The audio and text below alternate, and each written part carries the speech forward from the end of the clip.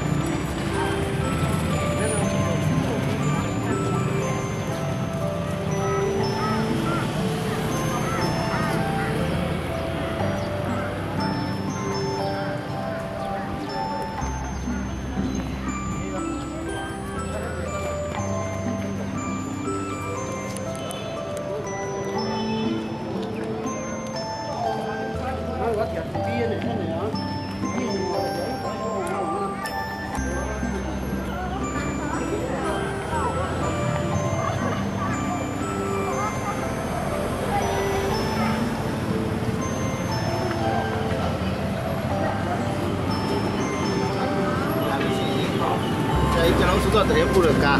Heel leuk joh. Thank you.